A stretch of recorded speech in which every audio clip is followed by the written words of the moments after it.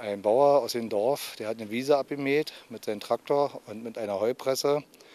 Er hat den Traktor abgestellt und hat irgendwas in der Heupresse reparieren wollen und dabei ist er in das Gerät geraten. Dabei ist er tödlich verletzt worden.